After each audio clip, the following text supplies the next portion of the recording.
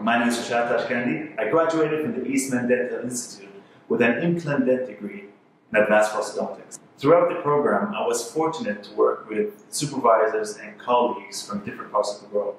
This exposure has definitely shaped my thought process in approaching different clinical scenarios.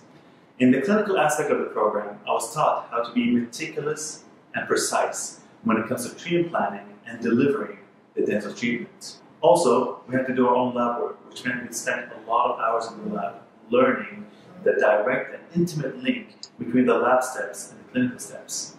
And from an academic point of view, we were taught how to be critical when it comes to the literature. And we also learned how to translate whatever we read into our clinical practice. Exposure to a large number of literature has definitely helped us when it came to writing our dissertation. Our research project gave us a chance to have an in-depth knowledge a certain subject that needed further investigation. And most importantly, I was taught how to be an opinion holder and a leader in the field. The program had a positive impact on my career. And I would like to thank Professor Mandas Petridis and Dr. Raylene Sandberg for all of their efforts.